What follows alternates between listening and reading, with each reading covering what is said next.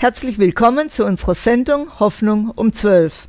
Im 2. Korinther 12, Vers 9, da steht, aber er hat zu mir gesagt, meine Gnade ist alles, was du brauchst. Denn gerade wenn du schwach bist, wirkt meine Kraft ganz besonders an dir. Und wenn du heute schwach bist, dann lass Gottes Kraft an dir wirken. Das Gebet hat Kraft. Oh ja, genau. Das Gebet hat Kraft. Hoffnung um 12. Wir wollen dich heute wieder ermutigen. Und heute mit dem Thema Sei mutig und stark. Lass uns dein Gebetsanliegen wissen auf gebet.missionswerk.de, im Chat oder am Telefon bis 13 Uhr.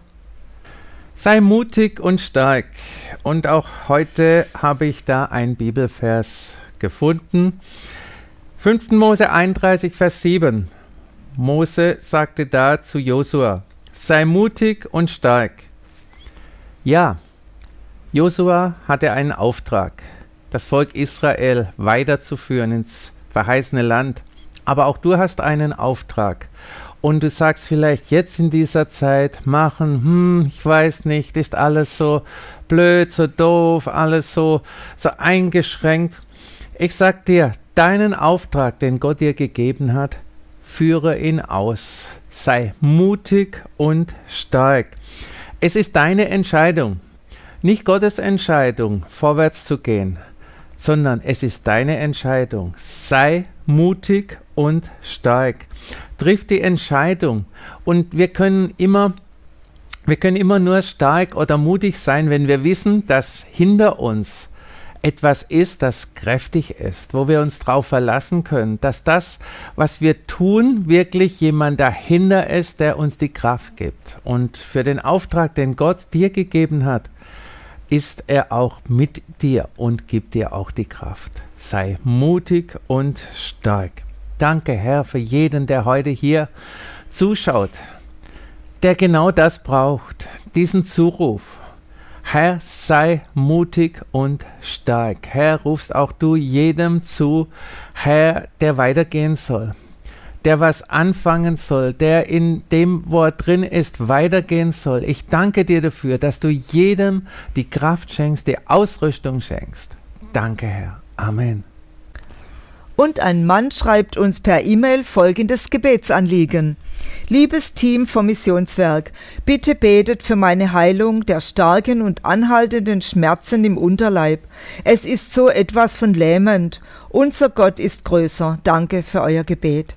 Und das stimmt. Gott ist größer und deshalb wollen wir beten. Jesus, ich danke dir, dass du diesen Mann kennst, der diese Schmerzen im Unterleib hat. Und ich danke dir, dass du diese Schmerzen wegnimmst, dass sie entmachtet sind durch dein Blut am Kreuz. Und ich danke dir, dass du eingreifst, dass dieser Unterleib wieder vollkommen in Ordnung ist und dass du die Ursache beseitigst. Danke, Jesus. Amen. Amen. Und eine Frau schreibt für ihre Verwandte. Meine Verwandte hat schon im Dezember eine schwere Magenkrebs-OP hinter sich. Es sieht nicht gut aus. Die Wunden wollen nicht vollständig heilen. Der Lebensmut ist angegriffen. Im Dezember ist ihre sehr betagte Schwiegermutter gestorben, im Februar ihre eigene Mutter und ihr Mann und ihre erwachsenen Kinder haben viel zu verkraften. Danke für ihr Mitbeten. Jesus, und du kennst diese dramatische Situation, wo diese Frau ist, wo sie so viel durchgemacht hat. Und ich danke dir, dass du sie stärkst, dass du in ihren Herzen deinen Frieden hineingibst, aber dass auch diese Wunden heilen, wo von der Operation einfach da sind und nicht heilen wollen. Und ich danke dir, Jesus, dass deine Heilungskraft da hineinkommt in diese Wunden und dass sie, dass sie schließen und dass sie wirklich ja, zusammenheilen oder was auch immer. Danke, Jesus. Du bist der Herr. Du kennst sie und du weißt um sie. Und ich danke dir, dass du ihr wieder neuen Mut gibst, dass du ihr deinen Frieden schenkst und dass du in ihr Herz hineinkommst. Danke, Jesus. Amen. Amen. Schreib uns dein Anliegen oder ruf uns an. Die Infos sind eingeblendet. Und eine Frau bittet für ihren Opa. Meinem Opa geht es sehr schlecht. Er war bis vor kurzem noch topfit.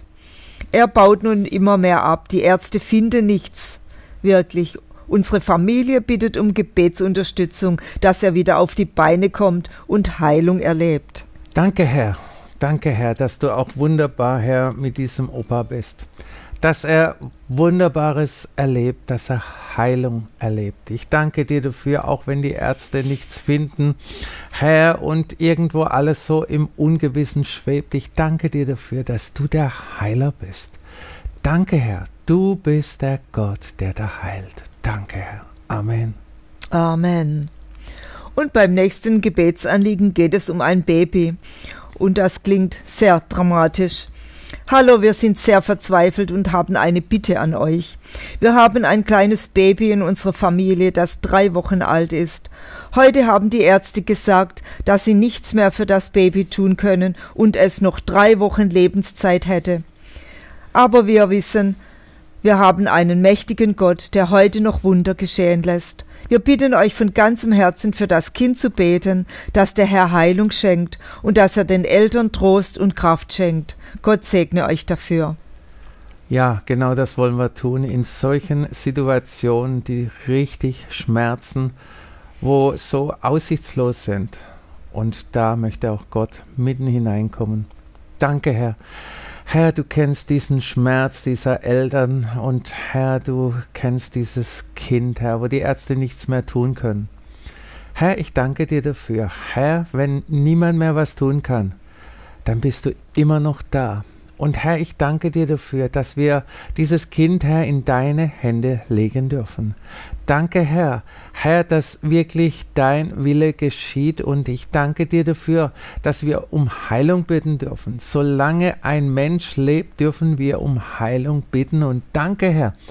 Herr, du bist Gott allmächtig und du kannst dieses Kind gerade jetzt berühren. Lass es gesund sein, gesund werden, Herr, und dass alles, was da nicht so funktioniert, wie es funktionieren soll, Herr, dass wir es in deinem Namen in Existenz sprechen. Danke, Herr. Danke, Herr. Sei auch Herr über den Eltern. Schenk ihnen viel, viel Kraft. Und danke, Herr. Wir glauben an Wunder. Amen. Amen. Ja, und das tun wir. Und Menschen schreiben uns immer wieder, wie sie Gottes Hilfe erlebt haben. Und hier geht es um eine gläubige Partnerin. In der Gebetsnacht an Karfreitag 2020 brachten wir das Anliegen für eine gläubige Partnerin für unseren Sohn ein.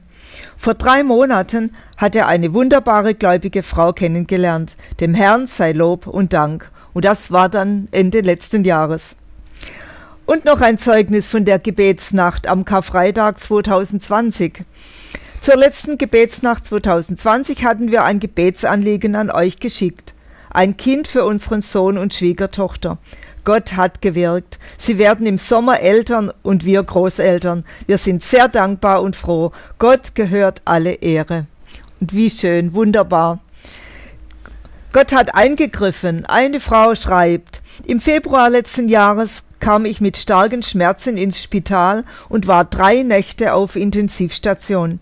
Ich bat noch in der Nacht meinen Mann bei euch anzurufen auf den AB und um Gebet zu bitten. Tage darauf kamen die Ärzte mit der Nachricht, dass die Entzündung zurückging, und ich hörte die Äußerung, da hatten wir in so einem Fall schon andere Verläufe. Gott hat eingegriffen. Ich danke euch auch sehr für eure Hilfe. Und ein Mann schreibt uns, Gott hat mein Gebet erhört. Ich hatte eine Mail an euch geschrieben mit dem Gebetsanliegen von Pornosucht frei zu werden. Nun habe ich eine christliche Hilfsvereinigung und Selbsthilfegruppe gefunden. Wir treffen uns, tauschen uns aus, beten und lesen in der Bibel. Ich habe gelernt, nur Jesus macht mich frei. Ich danke ihm und euch für die Hilfe. Ist das nicht wunderbar, wenn Gott eingreift in unser Leben? Ja, das eine Anliegen war ja von der Gebetsnacht vom letzten Jahr. Ich freue mich schon wieder auf nächsten Freitag, wo wir wieder Gebetsnacht haben werden, was Gott tut. Und ich glaube, er tut so viel Großes, so viel Wunderbares. Und hast auch du etwas erlebt? Lass es uns wissen. Die WhatsApp-Nummer ist eingeblendet. Heute der Tipp des Tages, sei mutig und stark. Das ist ein Ausruf auch an dich. Sei mutig und stark. Mach dir bewusst, wer hinter dir steht als Christ. Es ist niemand geringerer als der lebendige Gott. Sei mutig und stark. Probier es aus. Handle im Gottes Willen. Du kannst uns weiter dein Anliegen schicken. Wir beten gerne für dich und heute auch am Telefon bis 13 Uhr.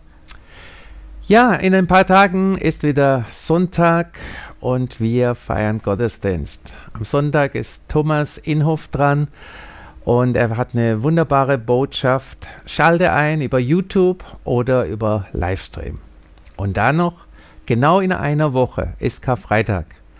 Karfreitag haben wir Gebetsnacht um 14 Uhr, weil man darf sich ja nicht treffen und von dem her werden wir streamen und über YouTube für dich verfügbar sein.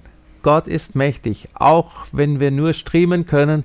Gott ist dasselbe. Er möchte dir dort begegnen, wo du zuschaust.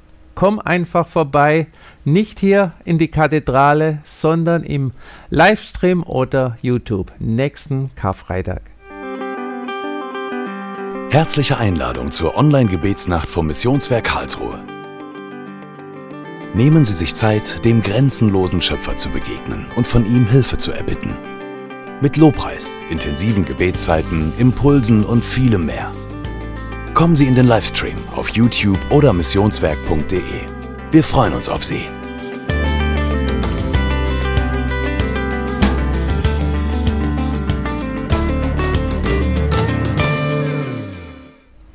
Ja, wir freuen uns auf dich und wir verabschieden uns und wünschen dir Gottes Segen. Alles Gute, der Herr segne dich.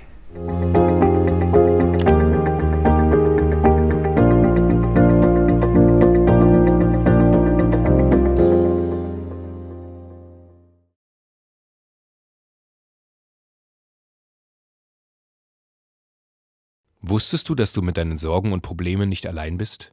Schick uns dein Gebetsanliegen auf missionswerk.de. Dort findest du auch ermutigende Artikel und vieles mehr. Schau doch mal vorbei.